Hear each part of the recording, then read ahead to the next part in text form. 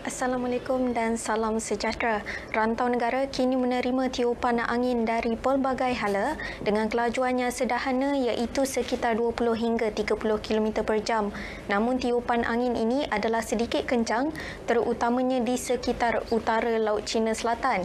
Oleh itu, Met Malaysia masih lagi mengekalkan amaran angin kencang dan laut bergelora kategori pertama bagi kawasan perairan yang bertanda kuning dan kategori kedua bagi kawasan perairan perairan yang bertanda jingga. Amaran ini berkuat kuasa sehingga ke lewat malam nanti.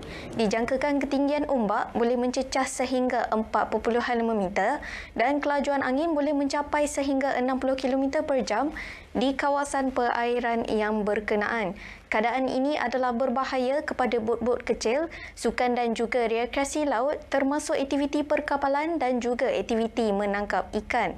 Sementara itu menerusi paparan imej radar semasa, dapat diperhatikan hujan di satu dua tempat kini sedang berlaku di negeri Perak dan juga di negeri Kelantan.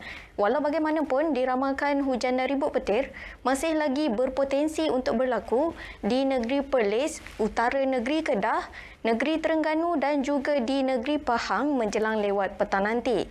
Di negeri Sabah, hujan dari bot petir kini tertumpu di bahagian Sandakan dan juga Tawau negeri Sabah dan keadaan ini pula diramalkan akan berlanjutan sekurang-kurangnya sehingga ke lewat petang ini.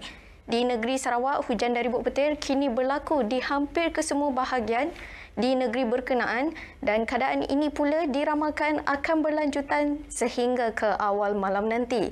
Sekian sahaja info cuaca pada petang ini. Berikut kita saksikan ramalan cuaca bagi bandar-bandar utama di seluruh Malaysia untuk malam nanti. Saya Azira Samsudin. Assalamualaikum.